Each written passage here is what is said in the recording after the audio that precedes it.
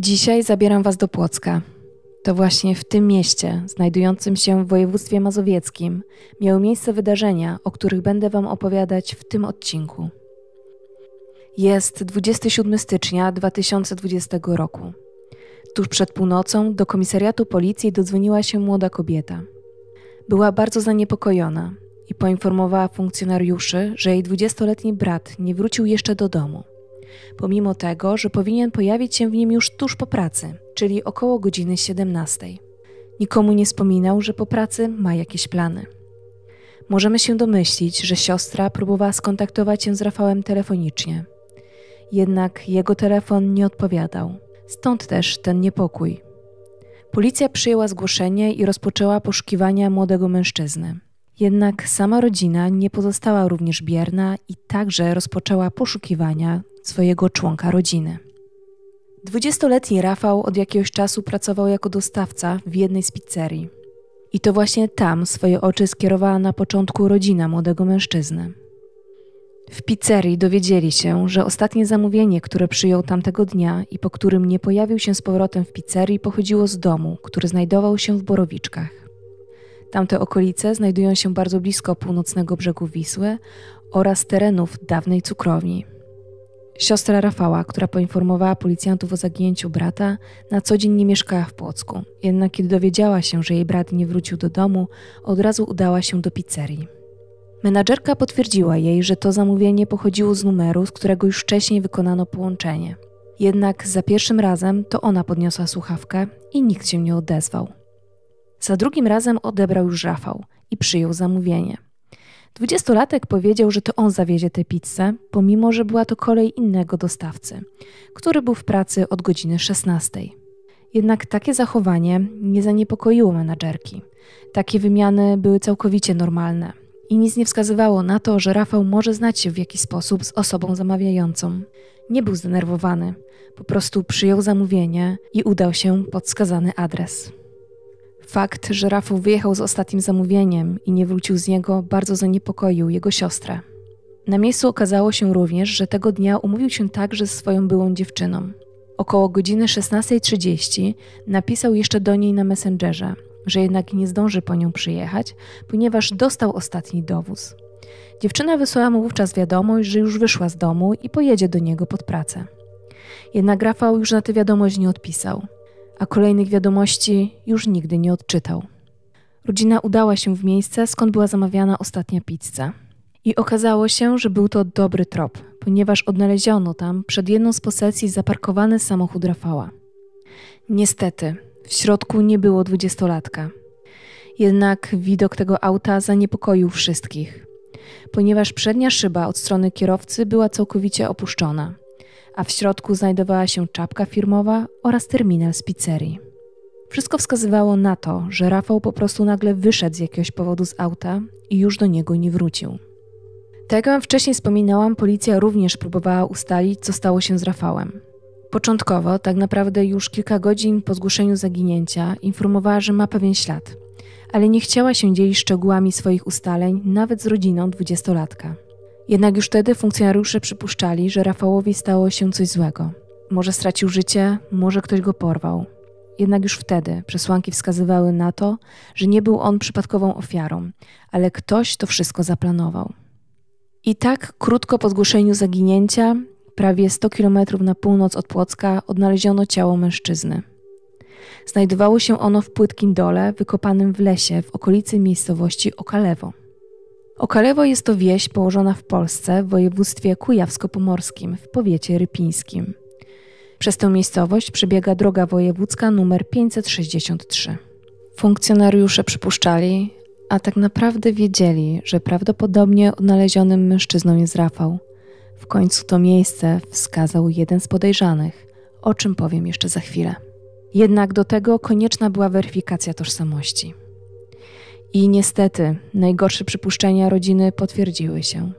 To było ciało Rafała. Ciało znajdowało się w dole, na terenie kompleksu leśnego. Było luźno przysypane ziemią wymieszaną z wapnem. Pierwsze oględziny zwłok wykonane przez patologa sądowego wykazały, że ofiara żyła, kiedy ją zakopano. Rozpoczęto śledztwo. Szybko sprawa została przekazana z prokuratury w Rypinie do płockiej prokuratury. Zostało to podyktowane tym, że śledczy szybko odkryli, że ta sprawa ma wiele wspólnego z Płockiem, czyli miastem, gdzie mieszkał Rafał.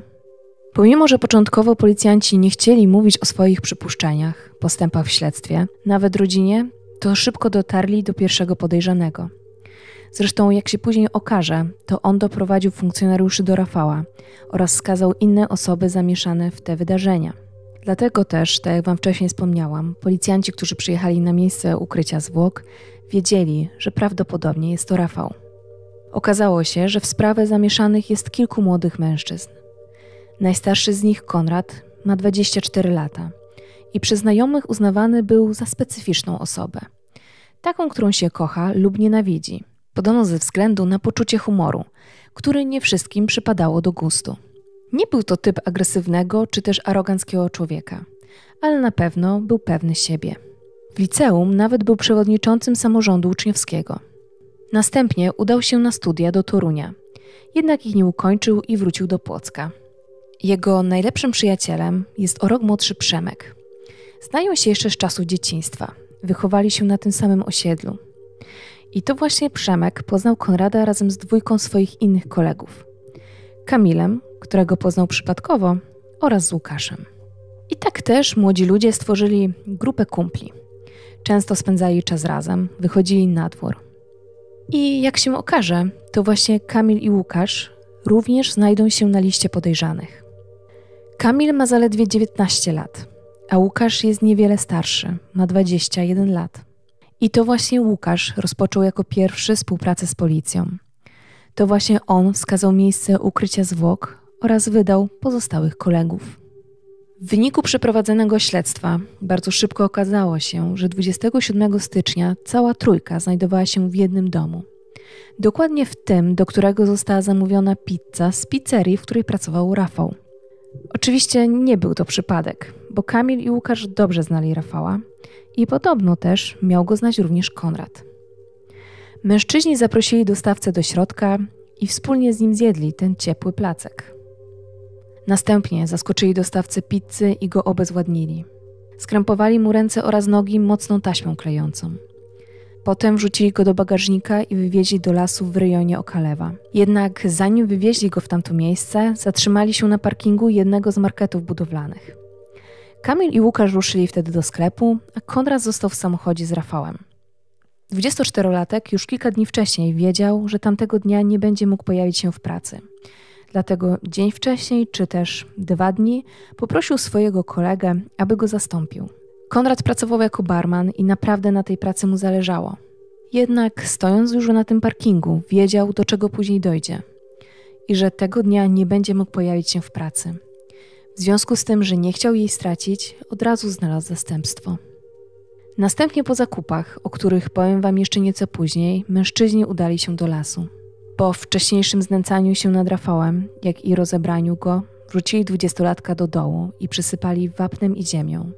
Jak wykazały badania, dostawca pizzy jeszcze wtedy żył. Trzech młodych mężczyzn następnie wróciło do Płocka, gdzie się rozdzielili. Konrad poszedł do pubów przy ulicy Grodzkiej, a następnie do swojej koleżanki. Łukasz i Kamil spotkali się ze swoimi znajomymi. Wszyscy, którzy tego wieczora i następnego dnia mieli z nimi kontakt, wskazywali, że zachowywali się normalnie. To normalne zachowanie, szczególnie Konrada, potwierdziła zarówno koleżanka z dzieciństwa, u której spędził noc, jak i barman, który pracował w tym samym lokalu co oskarżony. Nie dostrzegli oni żadnych obrażeń na ciele ani jakichkolwiek zmian w zachowaniu. Wszystko było takie jak zawsze. Nikt z nich nie przypuszczał, do czego doszło parę godzin wcześniej. Podczas przesłuchania mężczyźni solidarnie przyznali się, że rzeczywiście tamtego dnia widzieli się z Rafałem. Nawet przyznali się do porwania, ale nikt z nich nie przyznał się do pozbawienia Rafała życia. Co wiemy na ten moment? Mamy trzech podejrzanych młodych mężczyzn, którzy znali Rafała. Znali go w większym bądź też mniejszym stopniu. Wiemy, że chcieli go zwabić tym telefonem, stąd też były dwa połączenia, z czego podczas pierwszego, kiedy odebrała menadżerka, odłożyli telefon, natomiast kiedy odebrał Rafał, dopiero zamówili pizzę. Spotkali się z nim, zjedli wspólnie posiłek, a następnie porwali go i prawdopodobnie cała trójka pozbawiła go życia. Teraz stoimy przed najważniejszym pytaniem: jaki był motyw? Media usiłowały dowiedzieć się, jakie są chociażby przypuszczenia. Jednak śledczy nie udzielali odpowiedzi na żadne pytania. Zresztą prokuratura też nie udzielała żadnych odpowiedzi, zasłaniając się przy tym dobrem postępowania przygotowawczego. Ale wkrótce okazało się, że Kamil i Łukasz mieli również inną sprawę w sądzie. Konkretnie sprawa dotyczyła działania fałszywych sklepów internetowych a przestępstwa miały polegać na wyłudzaniu zapłaty od klientów, którzy w zamian nie dostawali żadnego towaru. Nie wiem, czy ktoś z Was w ogóle kiedykolwiek padł ofiarą takiego oszustwa, ale naprawdę takich sklepów jest bardzo dużo w internecie, czyli takich fikcyjnych sklepów. Dlatego też uważajcie przed zakupami w internecie. Jeżeli są to jakieś mniejsze sklepy, przeczytajcie opinie. Bardzo często takie opinie mogą Was ochronić przed oszustwem. Powróćmy jednak do tematu. Mężczyźni przypuszczali, że to właśnie Rafał zeznawał w tej sprawie na policji i to jego słowa doprowadziły do ich zatrzymania. I tym samym klaruje nam się tutaj motyw, jakim była zemsta. I ten motyw zgadza się z tym, co wykazuje śledztwo. Mianowicie, pozbycie się Rafała było zaplanowane dużo wcześniej. I tutaj powracamy do kwestii zakupów w sklepie budowlanym, o których wspomniałam Wam wcześniej. Oprawcy zakupili przedmioty, które miały im posłużyć do osiągnięcia swoich celów. Zakupów dokonali dwukrotnie. W jednym z marketów budowlanych kupili młotek, sznurek, rękawiczki, łopatę, wapno i testowali te artykuły. Zresztą dzięki właśnie temu monitoringowi, jak i logowaniu z komórek wyszło na jaw, że trójka podejrzanych 27 stycznia 2020 roku ponownie udała się na zakupy do kolejnego sklepu budowlanego. Ta lista zakupionych przedmiotów dla sądu jasno wskazywała na to, że Kamil, Łukasz oraz Konrad wszystko wcześniej zaplanowali i wcale nie chcieli jedynie zastraszyć Rafała. Szczególnie, że dowody wskazywały na to, że wszystkie te przedmioty zostały użyte podczas pozbawienia życia dostawcy pizzy. Dodatkowo funkcjonariusze pozyskali monitoring ze środka sklepu budowlanego. Kamery zarejestrowały dosłownie wszystko – i naprawdę jakość tych nagrań według śledczych była znakomita. Tym samym wiemy, że Łukasz oraz Kamil od razu wiedzieli, co chcą kupić.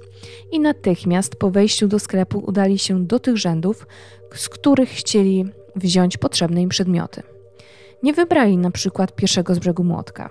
Sprawdzali również, który sznur jest najgrubszy i najtwardszy, robiąc z niego w sklepie nawet szubienicę. Dobrze wiedzieli, co robią.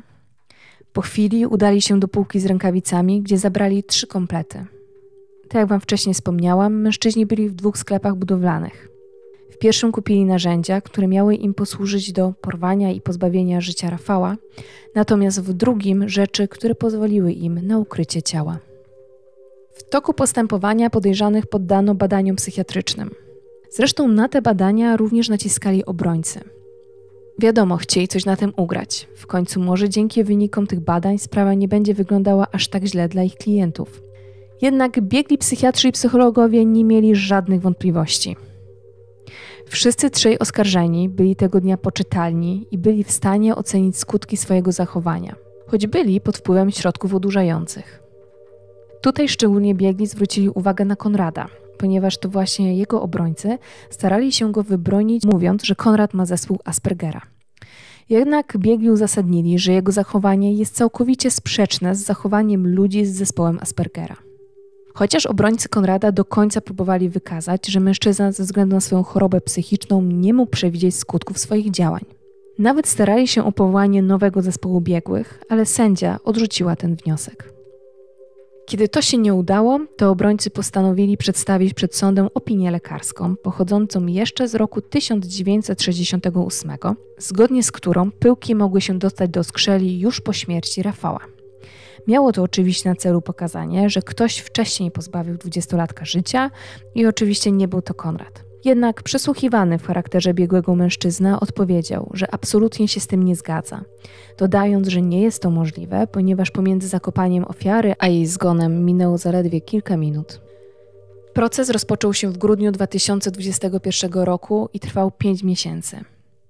Podczas jego trwania nadal nikt z oskarżonych nie przyznawał się do popełnionego czynu. Każdy z nich przerzucał odpowiedzialność na dwóch pozostałych i w tym względzie byli absolutnie zgodni. Tym samym, co pewnie nie będzie zaskoczeniem, wyjaśnienia oskarżonych były wewnętrznie sprzeczne. Najwięcej mieszał Konrad, który zmieniał swoje zeznania, a raczej dopasowywał je do aktualnego stanu materiału dowodowego. Podczas jednej z rozpraw zeznawała również jego mama, która na co dzień pracowała jako pielęgniarka. Opisywała swojego syna jako osobę spokojną. Jednak wspomniała, że kiedyś zaniepokoiło ją zachowanie syna. Nie sprecyzowała o co dokładnie chodziło, ale powiedziała, że od razu udała się z nim do psychologa. Z synem u psychologa była minimum trzykrotnie. Jednak specjaliści powiedzieli jej, że jest po prostu przewrażliwiona i szuka dziury w całym. W trakcie procesu na światło dzienne również wyszedł fakt, że Rafał mógł być słupem Kamila i Łukasza. Zresztą nawet siostra Rafała miała podejrzenia względem swojego brata.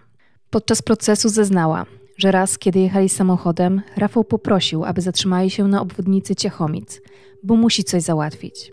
Wówczas przekazał kopertę, w której były przynajmniej dwie karty kredytowe Kamilowi. Siostra od razu zapytała go, czemu je przekazuje, ale odpowiedział, że to nic takiego. Próbowała z nim rozmawiać, ale niestety Rafał nie chciał nic mówić na ten temat. W trakcie zeznań siostra odczytała również wiadomości z komunikatora brata, gdzie przyznawał się do tego, iż mu grożono w związku z procesem Kamila i Łukasza. W sądzie zeznawała również była dziewczyna Rafała, która przyznała, że zna wszystkich oskarżonych. Z Kamilem i Łukaszem para miała spotykać się często, ale Konrada rzeczywiście znała bardzo słabo, widziała go tylko raz. Przyznała, że wiedziała o wspólnych interesach swojego byłego chłopaka z oskarżonymi, bo nawet sama była w to zamieszana. Podejrzanie któregoś dnia mieli zadzwonić do niej oraz do Rafała i zapytać, czy chcą zarobić. Oczywiście chcieli, szczególnie, że jedyne co musiała zrobić, to założyć konto w banku na swoje nazwisko. Zrobiła to i dostała za to 100 złotych. Wtedy jeszcze nie wiedziała, do czego miało służyć to konto. Przed sądem zeznała również, że wiedziała o tym, iż Rafał ma spotkać się z Kamilem i Łukaszem i porozmawiać o tej sprawie związanej z rzekomymi zeznaniami Rafała. Zresztą to samo przekazała tamtego tragicznego dnia siostrze Rafała. W trakcie jej rozmów z rodziną byłego chłopaka padły już imiona i nazwiska Kamila oraz Łukasza. W kwietniu 2022 roku wybrzmiały w końcu mowy końcowe – Prokurator wytknął oskarżonym, że nie reprezentowali wartości takiej jak powinni, takie jak nauka, uczciwość, praca. Tylko ich hasłem przewodnim było skóra, fura i komura. Chcieli po prostu szybko zarabiać, niekoniecznie uczciwie. Kiedy tylko w ich życiu pojawiła się okoliczność zagrażająca tej sielance, którą prowadzili, i tą okolicznością zagrażającą był Rafał, to mężczyźni po prostu postanowili go usunąć. Pozbyć się jak zwykłej przeszkody. Prokurator podkreślił, że Kamil i Łukasz podczas zeznań próbowali umniejszyć swoje roli i zrzucić całą winę na Konrada. Oskarżyciel nie uwierzył również najstarszemu z oskarżonych, że on nie popierał działania kolegów. Było to niemożliwe. W końcu dwa dni wcześniej poprosił kolegę z pracy, aby wziął za niego zmianę. Czyli już wiedział, że 27 stycznia nie będzie mógł pojawić się w pracy. A ponadto Konrad mógł pomóc Rafałowi. Przecież to on został sam na sam z dostawcą pizzy na parkingu. Mógł go uwolnić, wezwać pomoc. Ale tego nie zrobił. Czekał grzecznie na powrót swoich kolegów. Zeznania oskarżonych podważył również pełnomocnik rodziny, który podkreślił, że według podejrzanych to Rafał sam wszedł do bagażnika i położył się w wykopanym dole, po czym sam się zakopał. W przypadku Łukasza prokurator wniósł o dożywotnie pozbawienie wolności z prawem ubiegania się o warunkowe zwolnienie po 30 latach. W odniesieniu do Konrada i Kamila Również wniósł o dożywotnie pozbawienie wolności, ale z prawem ubiegania się o warunkowe zwolnienie po 40 latach. W przypadku wszystkich trzech oskarżonych wnioskował o pozbawienie praw publicznych na okres 10 lat, opłacenie kosztów sądowych i zasądzenie nawiązki na rzecz matki Rafała w wysokości po 100 tysięcy złotych. Tutaj możemy zauważyć, że poniekąd prokurator wnosił o niższy wyrok, a tak naprawdę o warunkowe zwolnienie po 30 latach, a nie 40, w przypadku tylko i wyłącznie Łukasza. No zapewne miało to związek z tym, że Łukasz po prostu od samego początku współpracował z policją. Głos zabrały oskarżycielki posiłkowe, w tym matka Rafała, która powiedziała bardzo poruszające słowa. Pozwolę sobie je wam tutaj przytoczyć. Syn nie powie już do mnie mamo, nie poprosi o uprasowanie koszuli. W tej ostatniej, którą mu oprasowałam, mokrej od moich łez, włożyliśmy go do trumny. Kto dał wam prawo dokonać tego? To było bezbronne dziecko. Moje życie straciło sens. Jest przypełnione bólem. Natomiast siostra Rafała powiedziała: Mieliśmy wybierać samochód, a wybieraliśmy dla niego trumnę. Wszyscy oskarżeni działali z premedytacją, według planu. Opierali się tylko na przypuszczeniach, że Rafał zeznawał przeciwko nim. Rodzina Rafała również nie przyjęła przeprosin od oskarżonych, a nawet powiedzieli, że nigdy im nie wybaczą. Dla siostry dostawcy pizzy te przeprosiny były tylko po to, aby złagodzić sobie wymiar kary. W swojej mowie końcowej Konrad, czyli najstarszy z oskarżonych, prosił o szansę powrotu do społeczeństwa, aby móc odpokutować te winy. Podkreślał, że on praktycznie nie znał Rafała i we wszystko został wmanewrowany. Pozostali również w swoich mowach końcowych przepraszali rodzinę, w tym szczególnie Łukasz, który nie ma co ukrywać, liczył na mniejszy wymiar kary ze względu na to, że od początku współpracował z policją. Każdy z obrońców usiłował za wszelką cenę wybronić swojego klienta. Każdy wskazywał, że w świetle twardych dowodów, np. protokołu sekcji, nagrań z monitoringu, jak i wzajemnie sprzecznych wyjaśnień oskarżonych, nie da się ustalić, kto tak naprawdę zakładał taśmy na usta, kto kopał dół. Innymi słowy, jeżeli nie da się ustalić, kto to zrobił, no to przecież wszyscy są niewinni. Obrońcy Kamila, czyli najmłodszego z uczestników, podczas procesu wskazywali, że młody mężczyzna ukończył niedawno 18 lat i z racji wieku charakteryzuje się niewielkim doświadczeniem życiowym. Dlatego wymiar kary powinien mieć charakter wychowawczy, prewencyjny, ponieważ zbyt surowe karanie młodocianych osób może doprowadzić do ich demoralizacji. Jak zawsze słyszę takie mowy obrońców, zastanawiam się, czy naprawdę człowiek, który jest zdolny do takich czynów, może być jeszcze bardziej zdemoralizowany. I co na to wszystko sąd? Wyrok zapadł w kwietniu 2022 roku. I Sąd Okręgowy w Płocku nie znalazł żadnych okoliczności łagodzących, które usiłowali wskazać obrońcy, i skazał wszystkich trzech oskarżonych na kary dożywocia i pozbawienia praw publicznych na 10 lat. Skazani mają też wypłacić solidarnie zadośćuczynienie w wysokości 200 tysięcy złotych matce Rafała oraz 60 tysięcy złotych jego siostrze. Sąd oceniając winę oskarżonych doszedł do przekonania, że jest ona najwyższa z możliwych. Oskarżeni działali wspólnie, metodycznie, z zamiarem bezpośrednim pozbawienia życia Rafała, a ich postępowanie wobec ofiary cechowało szczególne udręczenie – przy czym motywy czynu zasługują na szczególne potępienie. Motywem była zemsta. Chcieli się pozbyć swojego problemu. Sędzia Wawrzyńczak przyznała, że sprawa była bardzo trudna, w tym dowodowo, emocjonalnie i ze względu na wydźwięk społeczny. Jak wskazała, istotny w rozpoznaniu sprawy był zgromadzony materiał dowodowy, na przykład nagranie z monitoringu w jednym z marketów budowlanych w Płocku, gdzie oskarżeni dokonali zakupów i testowali te artykuły. Według sądu nagranie to świadczy o tym, iż oskarżeni podjęli decyzję dużo wcześniej, przed spotkaniem z Rafałem i uprowadzeniem, a nie dopiero w lesie, gdzie wywieźli ofiarę.